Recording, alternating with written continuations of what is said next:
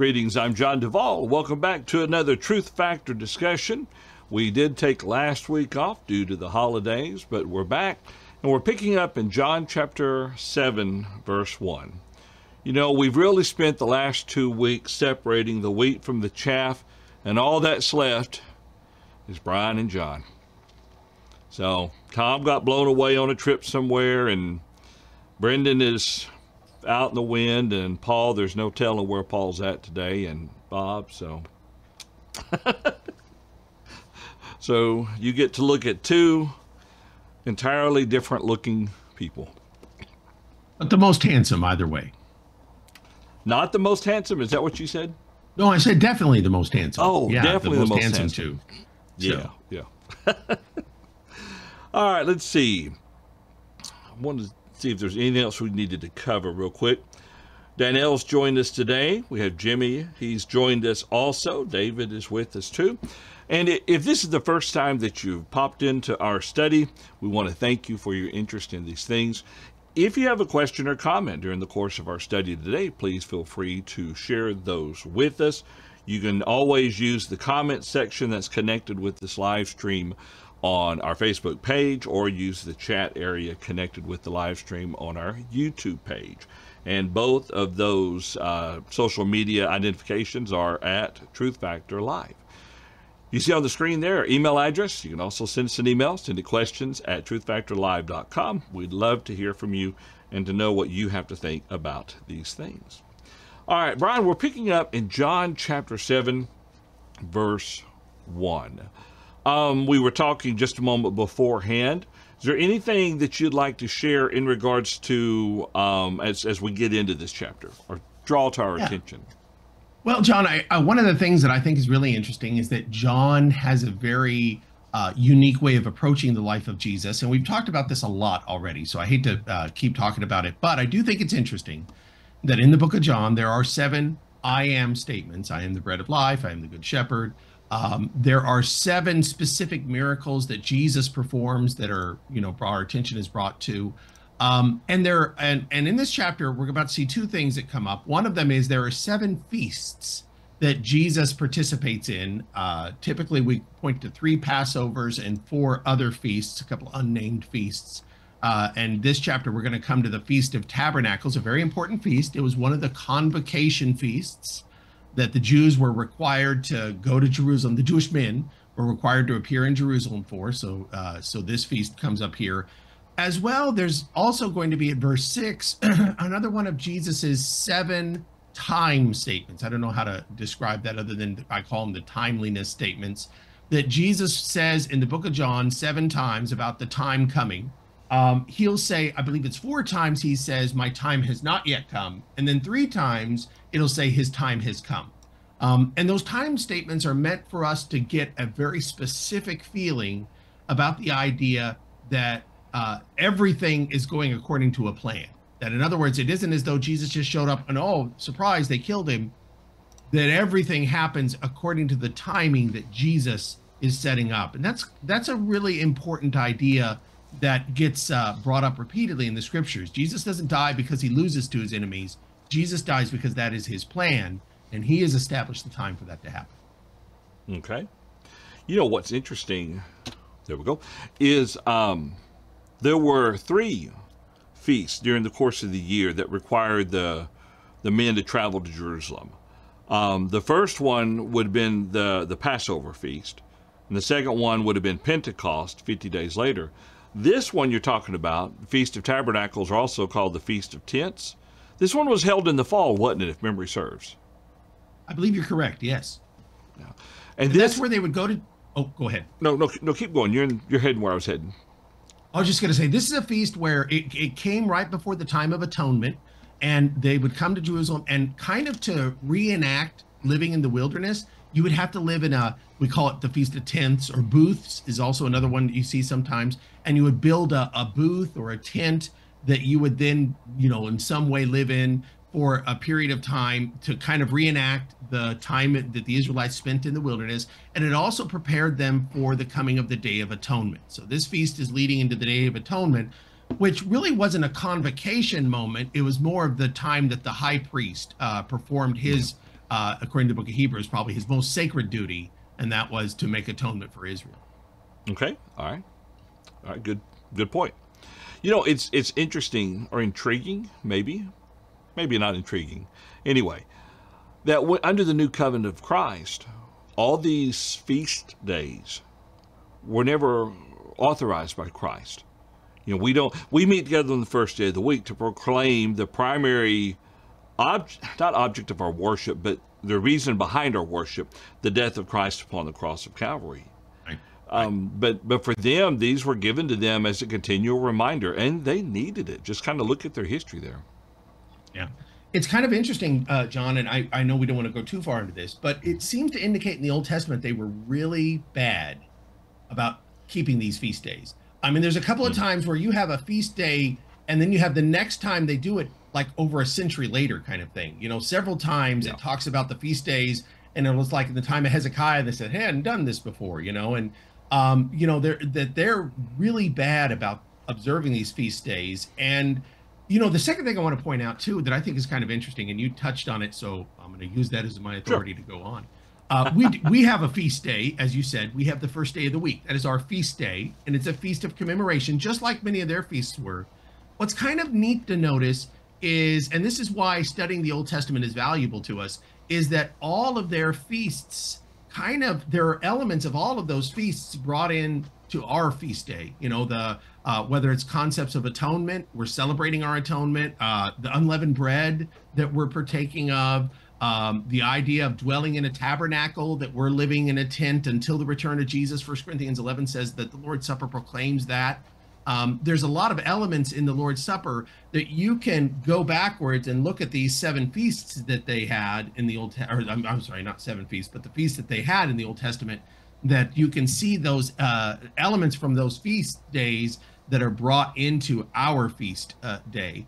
And so I've I've always enjoyed that. That's kind of a fun study. If somebody wants to say, "Hey, I'm gonna I'm gonna look at that," look at those Old Testament feast days and think about the elements of them and then think about how that contrasts to our feast day, the true feast day, um, the the one we celebrate in Christ.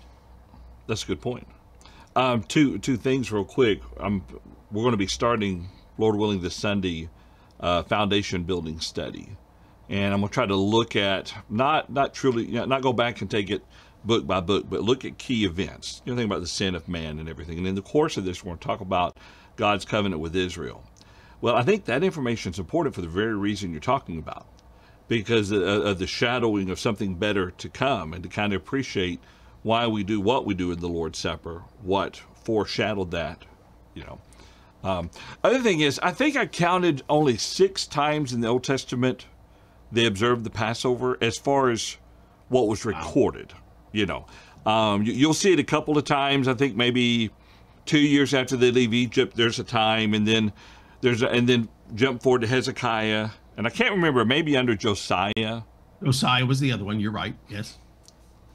All right, I'm going to have to change things here for just a minute because the the way I hear Brian is gone. So my Bluetooth Maybe no one can hear decided me. to die on me for just a minute. Give me just a moment. Let me process this. Um, Brian, I'll tell you what I'll do. I'm gonna I'm gonna um, have you to go ahead and I can't hear you though.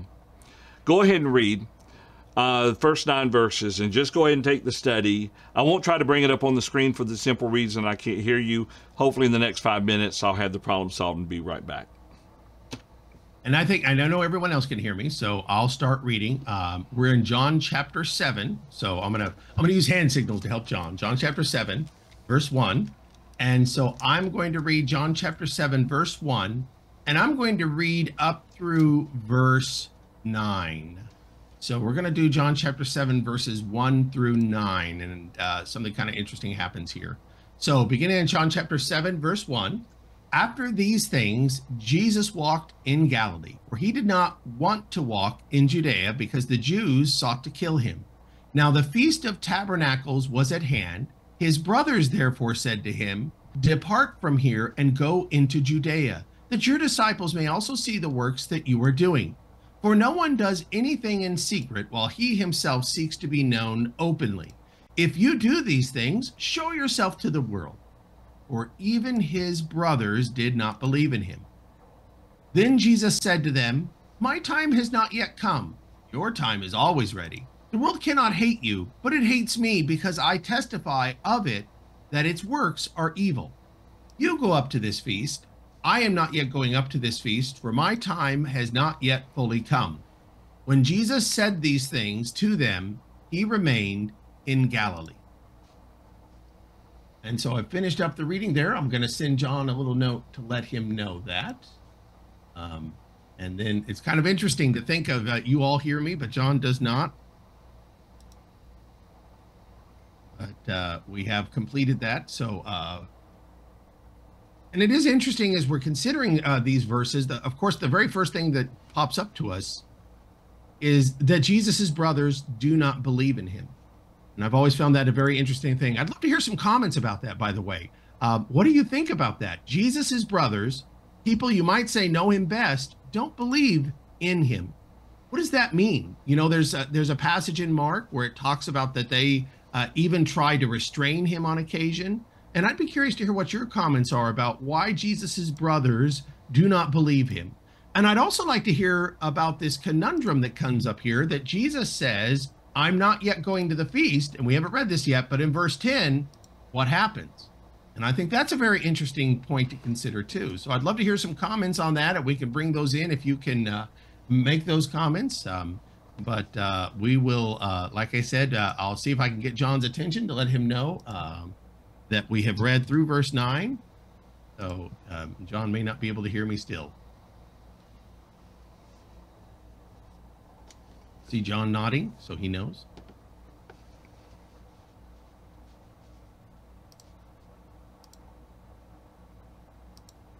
Well, uh, then what we will continue then to do, I'll, I'll, I'll actually just continue to, to talk about this chapter.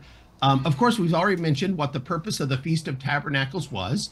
Um, and it was a requirement to go. And one of the interesting things that Jesus uh, uh, reveals to us, particularly in the book of John, is that Jesus kept the old law faithfully. You know, one thing that I often like to point out about Jesus growing up, uh, we, of course, you might remember that Jesus was up there for a feast day when he was 12 years old is that he had to have a particularly faithful family, uh, parents, a mother and father who were faithful, in order that he would complete the law as required by God. In other words, um, you know, when he was a baby, he had little power to get himself to those feast days or things like that. So he was necessarily obligated to rely on the faithfulness of his parents. And I've often pointed out that that kind of reflects on the idea that Jesus uh, that God selecting the parents, the people that would be the father, the physical father and the physical mother for Jesus on this earth, uh, had to pick people that would be dutiful in executing the law of Moses. Uh, because for many years, Jesus is not going to be able to perform those things all by himself because of the restraints of the physical age and such. So Jesus, always keeping those feast days, sometimes had to rely on other people, his family, to do so. See a couple of comments that are said here, and I, I'm really grateful for those. Uh, first of all, Caleb Davis says, no honor in your hometown, and it would appear in your family home growing up. Very interesting. Uh, yeah, Caleb, it is very interesting. It is interesting that that kind of demonstrates the idea that Jesus, you know, it's not as though they could look at Jesus and say, well, we knew you when you were younger and you were a rascal. They, I mean, they're not going to say that. They're not going to point to Jesus's failings that they personally observed. They're just going to say that because we know you, it seems unlikely or impossible that you are who you claim to be. And that's that seems to be the point here. Verse 4, reveal yourself to the world. If you are who you say you are, reveal yourself to the world. So this lack of honor or respect is probably because of familiarity. We have a saying, familiarity breeds contempt.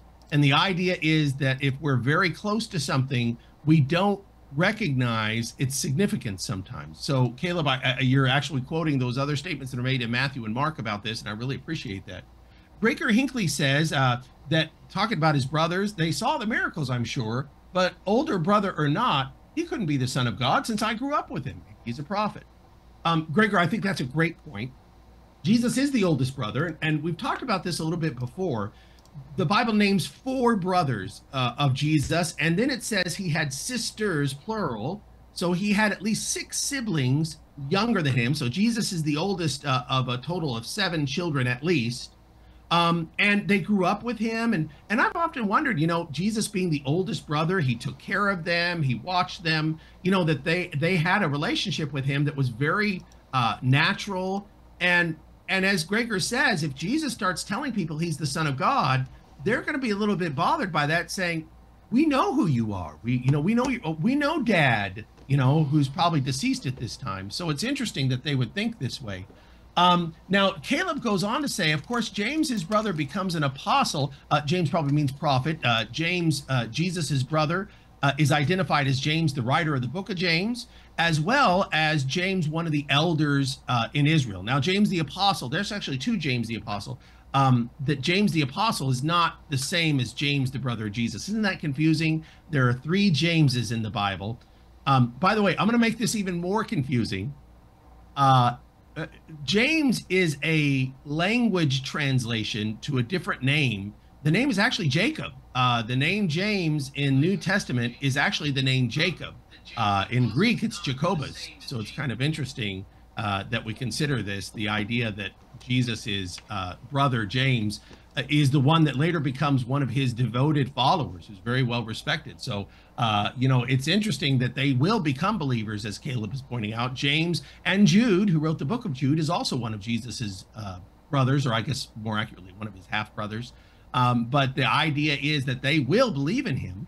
Um, the Bible tells us in 1 Corinthians chapter 15 that Jesus uh, particularly appeared to uh, uh, James later on that whenever Jesus was resurrected, that he made a particular appearance to James. So that's kind of an important thing. Um, uh, so Caleb makes the point to say James, the Lord's brother, is called uh, an apostle by Paul, right? Boy, that's a good question, Caleb. Um, in Galatians chapter 2, it talks about Paul meeting James, and I don't recall if he uses that term. Maybe he does. Now, he's not one of the 12 for sure, of course, because he wasn't a believer in Jesus until he was raised. Now, that term apostle sometimes gets used a little generically. Like at the end of the book of Romans, I think there's three or four people that are that are called apostle. An apostle just means somebody who's been sent. Um, now, James was never actually sent anywhere, too. What's interesting is James stayed all of his life in Jerusalem, as far as we understand, and he died in Jerusalem, according to uh, secular history. So, you know, I um, I don't know that he was actually ever sent anywhere. He's one of the elders of the church in Jerusalem, and he's called a pillar uh, of that church. And I, as I said, I believe that's in Galatians chapter two, Caleb. So, um, uh, and I'm kind of uh, reading, and this is in James chapter, Galatians chapter two and verse nine where he calls him one of the pillars of the congregation. Um, but I don't recall, like I said, if he was actually ever talked about as an apostle. But it is an interesting uh, expression, an idea. Uh, Bob, it's good to have you on board with us this morning. We're a little uh, we're a little short, and we're having a technical difficulty. Bob, uh, John's audio has gone out, so he can't hear what we are saying. Uh, of course, that gives you and I the opportunity to say terrible things about him while he can't hear us. But uh, we're just trying to kind of uh, work through John chapter seven, verses one through nine, while while John fixes this audio. So we're in John chapter seven, verses one through nine. Go ahead, Bob. Well, just between uh, you and me and the audience, I I really despise John. Yeah, uh, yeah, right, yeah. John's a good. I tell you, in my old age, I got my wires crossed about which program had been discontinued for the month of July. It's my uh-huh. study on Tuesday. And so I came in late because I just discovered that you were going to be on afterward. Uh, but uh, I, I want to say this about Peter, uh, about James being an apostle. Uh, in Galatians chapter uh, 1, verse 19, but I saw none of the none of the other apostles except James, the Lord's brother. I don't believe that that implies that James, the Lord's brother, was an apostle. Uh, in Luke, and I'm not sure about the reference now. You might can find it pretty pretty quick. Uh, in Luke, Jesus refers to the widow of Zarephath, Zarephath, and he said, "But but none." Uh, uh, Elijah was sent to none of the widows of Zarephath, uh, or widows in Israel, except Zarephath. Well, that doesn't mean Zarephath was a part of Israel but it just means that he wasn't sent to any of the ones in Israel, but he was sent to the widow of Zarephath. And so I think that's the sense in which except here is, is used. He didn't say any of the other apostles, although he did see James the Lord's brother. And I think this is the only only reference I've ever seen used to assert that uh, that James the Lord's brother was an apostle. Uh, I, I, believe you're right about the uh, familiarity thing. Uh, keep in mind that Jesus was older than all of his uh, half brothers and uh, his half sisters, being the firstborn, and so they had to they had to have looked up to him uh, being an, an, older man, they had to notice that uh, he wasn't into foolishness like the other young young people. Uh, but it, you know, it was just hard for them to, uh, impossible perhaps even, to conceive that their brother, their half brother, could be the Messiah. Uh, and I, I don't know, they would have to discount their mother's story about the virgin birth and maybe they found that impossible to believe and assumed or jumped to the conclusion that uh, Mary and Joseph or Mary and someone had had uh, relations before Jesus was born.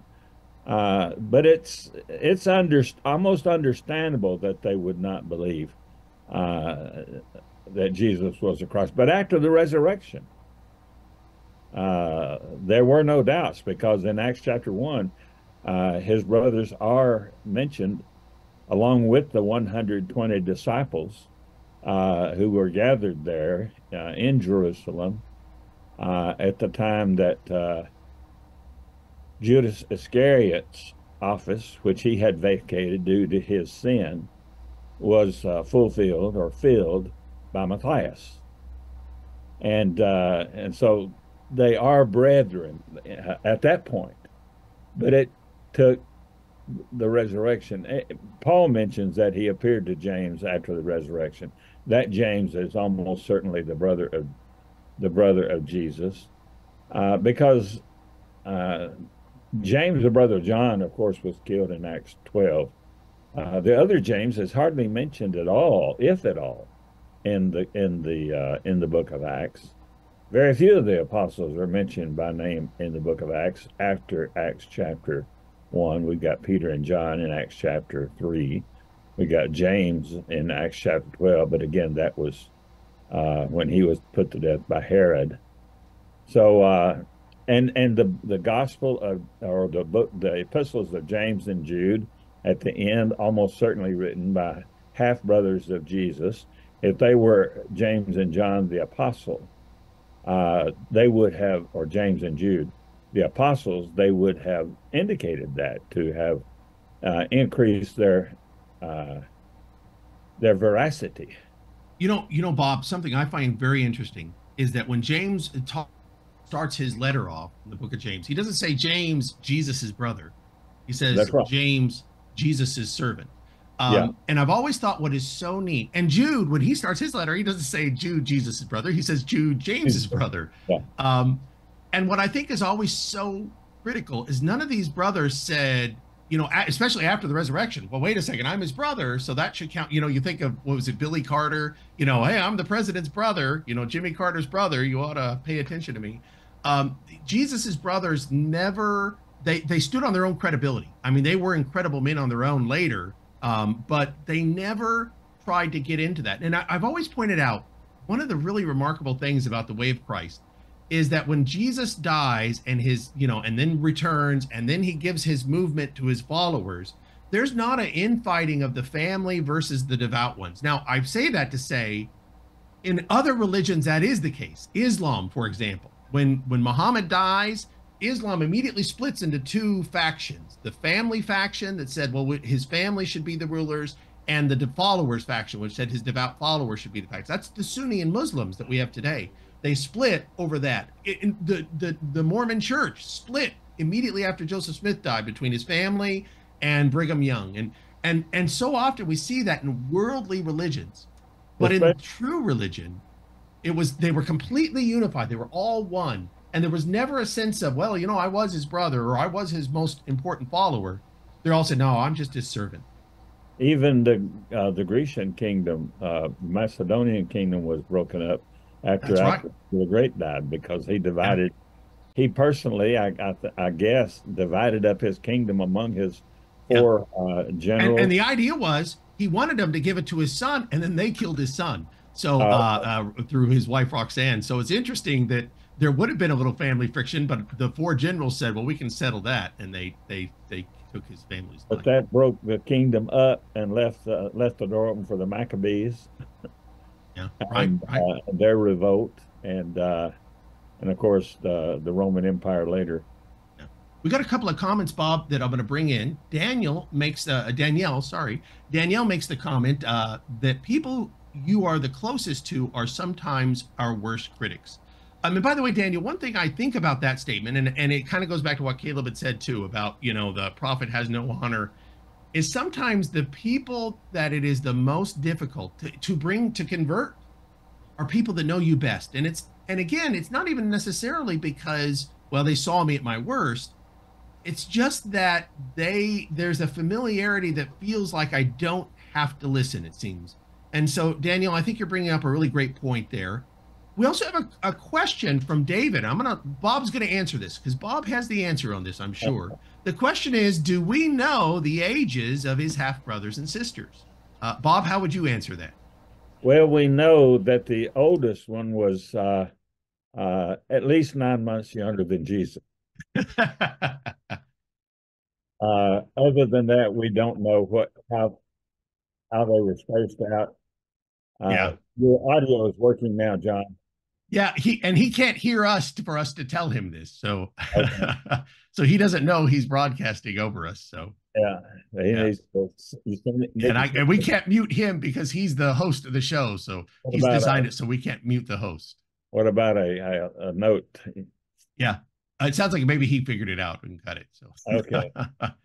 anyway, yeah, so that's a good point uh, so we, you know, we don't know. We know that there were, I mean, the Catholic Church position is that Mary remained a virgin throughout her life, and uh, they uh, elevated her to God, uh, demigod, uh, if you will, status.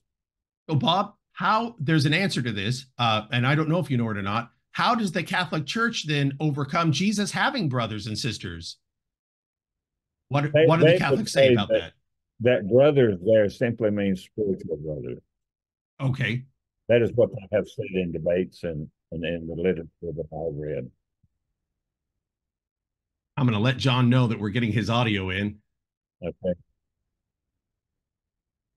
Um, so, so anyway, one other thing the Catholic Church often says is they say, well, John, well, uh, Joseph had been married before, and that that prior marriage he had uh, um, that he had had older children. So they try to make. Sometimes they've also said that these siblings are actually older than Jesus. But I've heard them say two cousins that they say cousins, spiritual brothers, as you said. They have a lot of uh, uh, a lot of ways they try to work around that when it's very clear that these are Jesus's siblings. Uh, one other point. Oh, go ahead. Go ahead, Bob. In, in that event, they would not be his half brothers. Yeah, that's right. That's right. They will so, have no blood relationship to Jesus at all. That's if, right. If they are going to maintain the virginity of Mary, uh, because he was not yeah. the son of Joseph. Yeah. And so Jesus shared no parent with the, with them if that was the case. Yeah. And that and that's exactly right.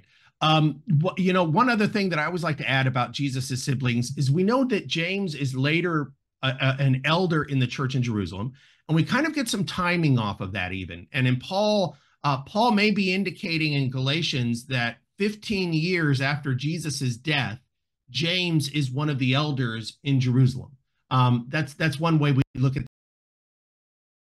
that passage. Um, and and if even if we're not sure that's what G- Paul was saying, uh, at least we kind of get a sense that uh, it's probably about the time period. Well, what I like to say is sometimes people say, well, how old should an elder be? Uh, and I often say, well, the only age we can speculate to in the Bible as an age is is James. And because he was younger than Jesus, he would have been younger than, say, you know, 45, uh, 48 years old. So it's kind of interesting. We can kind of put a kind of a quasi age on James as an elder because of this information. So uh, I like that. I like to think of that.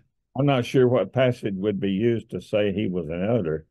Uh, he certainly seems to have been an evangelist, which is the only uh, the the biggest claim I've heard regarding uh, James. Uh, in Acts chapter 15, he's certainly listed among the leaders. Uh, mm-hmm. But I don't know that unless, unless, unless, well, in that case, he's an apostle and an elder. If, if, uh, if Paul is saying in Galatians 1 that he is an elder, uh, but I don't know I don't know what passage would say he was an elder uh, right off right off the bat. Well, I, and I think usually what it is is it's usually Acts 15 that we point to because Acts 15 was a council between the apostles and the elders in Jerusalem. And since we're saying James was not an apostle, he would have fit into the category of one of the elders. Um, and this uh, it also is a lot of the uh, the the secular history also labels him as one of the elders in Jerusalem as well. Um, so a lot of times, what the what the assumption is is that since we would say he's not an apostle, uh, he's one of the elders at the church in Jerusalem. Since the council there, this uh, coming together, the apostles and elders, um, you know, we see that several times there in Acts chapter 15. And since James wouldn't have been one of the apostles, it's usually assumed he's one of the elders. And so this is the uh, what I've read many commentators make the point about, um, and it makes sense to me.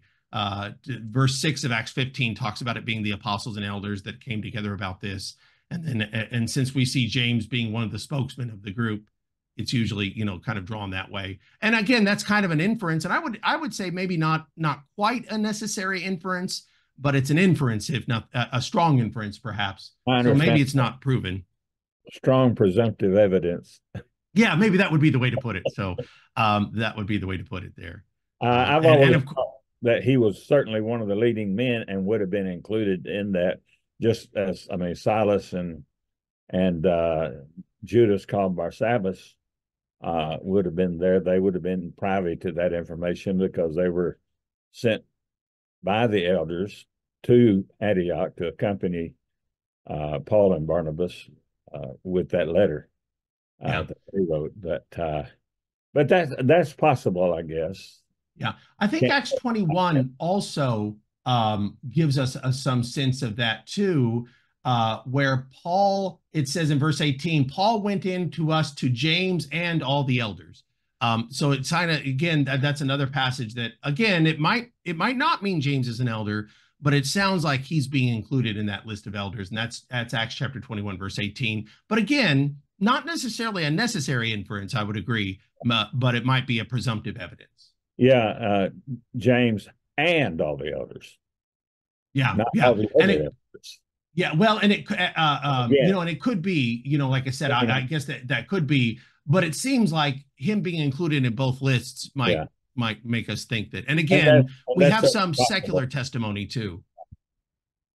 I would not affirm otherwise. Yeah. Except um, as an expression of my personal opinion. Sure, sure. Yeah. No, it's uh and like I said, it's certainly not not not a debatable point. I couldn't prove it one way or the other. But um, that gets us away from John chapter uh, seven. Uh, I'm not sure how much you had commented on that, how far through you had gotten. We had read through verse nine, and one of the things that we're going to bring up is a question here that uh, comes out of this that Jesus tells his brothers. And, and Bob, I'll have you read, if you'll read verses um, 10 through 13 for a moment. And the big question is going to be Jesus just told his brothers, uh, verse 8, you go to the feast, I'm not going to the feast. And then read to us what happens in verses 10 through 13, if you don't mind. All right. Reading from the New King James. But when his brothers had gone up, then he also went up to the feast, not openly, but as it were in secret. Then the Jews sought him at the feast and said, Where is he? And there was much complaining among the people concerning him. Some said, He is good. Others said, No, on the contrary, he deceives the people. However, no one spoke openly of him for fear of the Jews. So those were all private conversations, apparently. Uh, but when he said, My time has not yet come, uh, I think he's talking there, not that he's not going to go and then goes. That would be a lie. Uh, but that he's not going to go openly.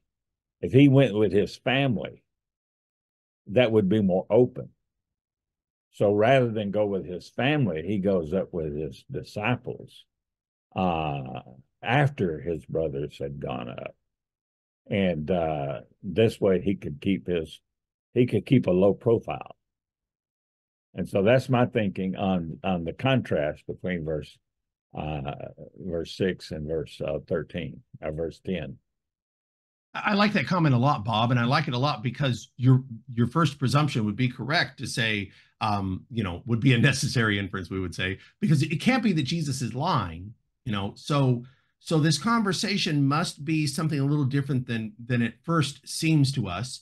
Um, and what's interesting is this statement about my time. Now Jesus will say four times, "My time has not yet come," and then three times it'll be said, "His time had come," and it's referring to his death in those circumstances. So what's interesting is Jesus says, My time, or in other words, the time for me to die has not yet come. He says, Your time could be any time. Um, and I and I've always thought that's kind of interesting. Uh, you know, you you and I maybe he's saying you could die anytime, but my time isn't yet. This isn't my time. But I think that that's the answer to what, as you said there, that when he says my time is not yet come, what he's trying to tell us is that his time to die, going out openly, would get him killed, or could potentially lead to him getting killed. So he's not going to go openly. That's really what they want him to do. Not to go to the feast, but to go to the feast like he like he enters Jerusalem in the triumphal entry. You know, to, yeah. to go in this very blatant open way. So what he's saying is not that he's not going to go. I think what he's saying is that he's not going to go the way uh, they're suggesting. I think that's verse 8. I'm not yet going up to this feast. I'm not yet going openly up to this feast because my time has not yet come. So they left, and then he goes up secret which is how he went, it seems, for most of the time, since they're always trying to kill him. Now he'll pop up here in a couple of verses. Uh, verse 12, verse 14, in the middle of the feast, he's just going to walk in the temple and start talking. But but again, this idea of his showing up openly, I think, is the answer. I think you hit it right on the head. Paul. Yeah, and and uh, in here in John chapter seven, there is an attempt to arrest him. Hmm. Soldiers could not bring themselves to do that that isn't that remarkable uh, it really is a great thing to say hey we sent we sent the police to arrest this guy and the police started listening and they came back kind of wide-eyed well you're not going to believe the kind of things this guy was saying you weren't supposed to listen to him you're supposed to arrest him uh, and they'll get we, we're getting ahead of ourselves but that's a really um, i almost laugh when i read that because it's almost funny to, to imagine we you're the tough guys you were supposed to go arrest jesus and they come back and oh we getting yeah. the way he was talking we couldn't do anything yeah, and I'm champing at the bit to make more comments on that, but I'll reserve myself. Yeah, hold on till we get there. Yeah, no, I agree. It's uh there's a lot. Um so uh do we have any other comments there or anything else to bring up out of that, John or Bob, uh verses 10 through 13? Um I find verse 12 kind of interesting that people say, well, I think he's good, and others say, no, no, he's not. You've always heard the old adage, Jesus can't be a, just a good person that he either is a, a liar, uh, he's a madman, or he's more than good. He's everything. And I find it interesting that there's a little bit of that here. There are three, three possibilities. He's Lord, he's a liar, or he's a lunatic. And they're not opting for the lunatic, but they are yeah. opting some of them for the deception. He's a liar. Yeah, yeah. And uh, so the people are not united. Now, later, when he makes the triumphal entry, uh, there does seem to be a great deal of, uh, if not unity among all of them, at least a, a majority of the people uh, at that point accept him. And yet, less than a week later, they're calling for him to be crucified. And uh, so, yeah, I, th- I, think you're right about uh, your elaboration on my point that uh, if he goes publicly, yeah, that he will surely he will surely die, and it's not time. Or at least, I guess I would say this: it's not so much that he would certainly die, but they would certainly try to kill him, and yeah. he doesn't want that to happen yet. I mean, Jesus can obviously escape that. At the end of, uh, they'll try in this chapter, and then in chapter eight, they're going to try to kill him, and they yeah. won't be able to do so. But uh, Jesus just doesn't want that attention. It seems he doesn't want them to do this yet. And and again in verse 13, no one spoke openly. These were private conversations among the people who knew one another. You know, we get a hint as to why that is in John 9 that there's a statement been made by this by the rulers that if anybody declares Jesus openly, that that person is going to be um, uh, uh, uh, excommunicated isn't the right word, but they're going to be put out of the synagogue. They're going to yeah. be ejected from their relationship. So it's kind of interesting that there has been this declaration of some kind that says anybody who declares Jesus to be the Christ, you know, you're out. You know, you're, you're so so that secret seems to be a reason. There's a reason for it. Yeah. In today's, I think we got John back. Yeah. For how long? We'll see how long the battery lasts. In today's time, they would they would be shadow banned. Oh, shadow banned. Yeah. Yeah, or or, or or what what is the term? Whenever they're suspended from the social media accounts, if they were to speak of Jesus openly. Yeah. Cancel culture. That's it. Yeah. Began early. yeah. All right. Um, well, Brian, you're doing such a fabulous job. He is. That's right. That's right. Let me bring in Jimmy uh, Kersey's comment. He just dropped one in real quick. It oh, was the Pharisees yeah, yeah. that tried to kill Jesus, right? Were the Pharisees that didn't want any part of killing Jesus? What a great question. Good question. Yeah. Uh, and we, and we know one, and I'll bet Bob can tell us who it is that we know by name that was a Pharisee that didn't want to kill Jesus. Yeah, that was Nicodemus. Nicodemus, very good. Um, and by the way, Nicodemus says there were others. Nicodemus says some of us, you know, so he seems to indicate he wasn't the only one. Right. Yeah. And, and I think um, that's important, by the way, uh, that we mm-hmm. make that distinction among the Pharisees. That not all the Pharisees are bad. We, you know, Jesus blasts uh, Pharisee thinking on uh, repeated occasions, but not all the Pharisees were bad. Um, uh, Nicodemus comes to Jesus' defense uh, outside of that conversation and talking about Jesus uh, on occasion. So it's it, it's important for us to remember that you know, I've always thought one of the most important things about Pharisees is that Paul doesn't say, when he's talking about being a Pharisee, he doesn't say, I used to be a Pharisee. He says, I am a Pharisee. Yeah. Um, and I've often wondered about the idea that Paul seems to still think of himself as a Pharisee, even as a Christian. So, I, you know, I've often said, you know, I'll stop short of being too um, Pharisees are evil by being because you're a Pharisee. I'll, I'll, just say that some Pharisees were pretty evil. Um, yeah, my, might be the way to put it my thinking is that uh, in that context, he's only saying I wasn't a Sadducee. No, yeah, and that I might be it. Yeah, and still believe in the resurrection. Yeah. And I think that is the primary distinction. I think the the dishonesty that they practiced toward Jesus, and uh, later toward Christians in general, was not part of being a Pharisee, but part of being uh, uh an unbeliever because even in Acts 15 that we've talked about, some of those converts had been Pharisees. Yeah, it says some of the sect of the Pharisees believed, who believed. Um, and again, it sounds like it's almost a, a present tense uh, yeah. statement there in Acts 15 and verse 5. Um, kind of off track though. We'll come back to uh, come back to John. Well, you know, there, there could be Joseph of Arimathea might have also been a Pharisee. He, he is clarified as a disciple of Jesus, but secretly for fear of the Jews. Yeah. Yeah. I know a lot of again, a lot of the commentators will say that they uh, they understand by the by the connection to Nicodemus there in John 20 or John 19 that they usually say it's it's likely he was a Pharisee. Yeah. And it's interesting that John is the only gospel writer who mentions Nicodemus, but all four mention uh, Joseph of Arimathea. Yeah. All right. Um, so you got you made it down to verse 14, if I heard things correctly. 13. Uh, so 13, 13, 13, yeah. Okay. Um, well, y'all want to continue reading through. Well, it's kind of lengthy from that point forward. Um, what about verse? Uh, let's see. You read through verse 13. Let's read verses 14 through. Um, 19. Yeah, yeah. Let's don't do a cliffhanger. That's the end. Of, that's the end of Jesus' statement, anyway, at least for the yeah. letter. Yeah, Bob, if you if you would just keep reading there, fourteen through nineteen. Okay. Now, about the middle of the feast, Jesus went up into the temple and taught, and the Jews marveled, saying, "How does this man know letters, having never studied?" Jesus answered them and said, "My doctrine is not mine, but His who sent me." If anyone wills to do his will, he shall know concerning the doctrine whether it is from God or whether I speak on my own authority. He who speaks from himself seeks his own glory. But he who seeks the glory of the one who sent him is true, and no unrighteousness is in him. Did not Moses give you the law? Yet none of you keeps the law. Why do you seek to kill me? Okay. You know, Brian, I can't believe they they insulted Jesus like they did there.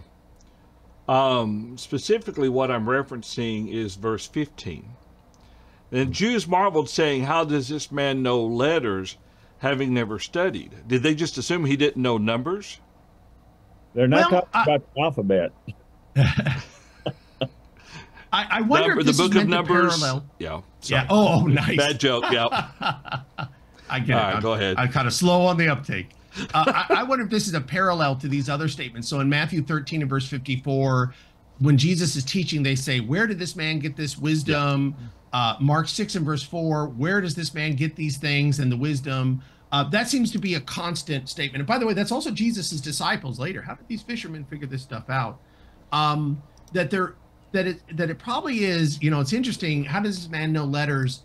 Um, it might not be meant as an, an uh, as a insult, but it might be a uh, who did this guy study under? You know, who who on earth is he one of you know you had these big uh big big rabbis near this time. Did he study at the foot of Gamaliel? Did he you know that the, here's a man that came out of nowhere that wasn't a student. In fact, in fact, they've researched him. We know that because they'll say he's a he's the carpenter's son because they've they've checked him out. And the incredible thing is, um, it would be like for us today, somebody showing up and talking about nuclear physics or um, you know some kind of uh, you know uh, uh, quantum physics. Well, where'd you go to school? Well, I just graduated high school. I didn't do it. You know, really? And you know you know you've built this you know cold fusion reactor kind of a kind of conversation that he's he's saying things that outsmarts their top scholars. And so it just it just is earth shaking you know that you can talk to a man that can just say ah, let's go to this place in the bible. And you know i've always one of the things i've always pointed out is that this is a time in fact until the last 100 years 150 years um, there it's been this way that you don't have an easy access to the Bible. You don't have a oh let me grab my Bible and open it and read for the day. You know we we ta- we read the Bible. Some of us read the Bible daily. Good for you. Uh, some of us read the Bible daily. You didn't have that opportunity in ancient times. Your only hope of getting the Bible was you got to go to the synagogue and they read it to you once a week. Um, and you may not if if you're not a man over a certain age, you you weren't even a part of that. You, you got to listen. So the ability to not just you know have some idea of scripture but actually to quote it is a is a symbol of a knowledge of somebody who has studied scripture. Jesus can quote scripture but there's no evidence he ever spent time memorizing it. He's not a scribe you know and yet and the scribes are the guys that copied it down so they have it by memory in a lot of times. Jesus outsmarts the scribes. That's that's a big thing. I think the difference is uh, I know a lot of preachers uh, stress memorization. Now, there's nothing wrong with memorization, but what we need to work on is internalization. Jesus, I don't think, had intentionally memorized simply for the sake of memorizing, but he had internalized everything. I mean, he was the God. He was part of the Godhead. He was uh, a part of the uh, the process of of uh, of revelation and inspiration, and so he had done this at age twelve in the temple, asking and answering questions, and the questions I take it were hard questions, questions that caused them to to scratch their heads because it says they were amazed at his answers. Uh, that's in Luke chapter uh, two, and so uh, it's it's no small wonder that he's still doing this, uh, eighteen to twenty years later, and uh, and so yeah, he hadn't studied at the feet of anybody, but he had obviously spent time. He had spent time with his father in direct communication with him, and certainly he would have pored over his uh, the scriptures many times. Uh, again, I, I don't think necessarily because he didn't know it, any of it, but because it was a source of comfort to him, and uh, it helped him with reference to his manhood, at least, uh, to better demonstrate as a man the principles that he himself and his father had revealed. Okay. All right. Um, Brian, one side note, we, we're almost out of time, and like I said, uh, we started. I started. I started to slate um, this morning, and so let's hold off any more discussion really of 16 and following. But let's go back to one thing you said though. Um, there was some access to the scriptures. We think about the Bereans who searched the scriptures daily. Do you think maybe in that context he's talking more about like the Septuagint? So I the Septuagint, of, of course, is the is the Greek uh, mm-hmm. version of the Old Testament, and it seems like there was a there was a fairly easy access to that, as you mentioned. The Bereans seem to have it, um, and that statement about them searching the Scripture daily um, has a lot of connotation about what that could mean. Um, I think what what we just might not appreciate is that again, owning a Bible would have been only the privilege of the rich. You know, yeah. uh, somebody who could afford to have a copyist copy it down. You didn't you didn't have bookstores where you could go buy books and and certainly even when you could buy things that were written um, in ancient in ancient history, what we find is that the people that own lots of, and of course they weren't bound books; they were typically scrolls. The people who own lots of scrolls were always rich. So you know you had, or a synagogue would have them, and that's what they called the seat of Moses. Um, that's referred to in Matthew chapter twenty-three. So this idea of the access is, uh, you know, you you had access, but it wasn't easy access, and it was kind of limited. And so the idea, and I love what Bob said about the idea that Jesus Jesus has a twofold appreciation. Number one, that he knows the scriptures perfectly. Like I said, he can he can quote them. But number two, he actually understands what they mean. Um, and that's the thing that the scribes don't have. And the scribes are interesting. This is why the scribes are a big deal. Is the scribes obviously scribes are the copyists. But if I copy something 10 times, I probably have it pretty good in my mind, right? That's kind of the impression we get why the scribes were the people that were uh, the scribes and Pharisees are one clique, and the priests and Sadducees are the other clique. And the, the scribes and the Pharisees, and the scribes are the guys that have all the knowledge. So, so one of the things you always notice is when Jesus is critical of the scribes, you know, think of this particular group of people that had a knowledge of the scriptures, but maybe didn't actually know what it meant uh, or couldn't apply it. And so Jesus, what I think is fascinating is sometimes Jesus, when he's talking to scribes, he'll say, "Well, what do you think God means when He says this?" You know, and oh, I don't know. You know, he'll say, "What when he says the Lord says to my Lord, sit at my right hand? What's that about?" Well, I don't know. You know, we wrote it down, we've read it, we don't actually know what it means. Jesus knew what these things meant. Now, what Bob said, that's, I mean, this is why this is why the common statement all the time is we've never heard anybody talk like this. Um, and think about what that means on two levels. Number one, with authority. You know, Jesus spoke from his own authority uh, Matthew chapter seven hits it like that. He, this man speaks with authority. Number two, we never heard anybody talk like this, and that's we haven't got there yet. But in John eight, the the, the guy's going to walk back saying, "We can't arrest this guy. We never heard anybody talk this way." Um, and and this other idea is he he has the scriptures by heart. He also knows what they mean, and that's incredible. And and what he said was indisputable. Hmm. It could not be disputed. Uh, even Stephen in Acts chapter uh, 6, they could not deny the things that he was saying. They didn't like it, but they couldn't argue against it, not with any kind of rational argument. And of course, uh, unbelievers in general, but the Pharisees in particular in the first century, if you can't answer somebody intelligently, you just ridicule them. And we see this in politics all the time, as well as in mm. That's right. Um, one one more thought, and then we'll go ahead and end it. When the new when the um, new covenant comes around, probably for the first twenty years, just on what we know, everything would have been learned by auto, auditory by hearing.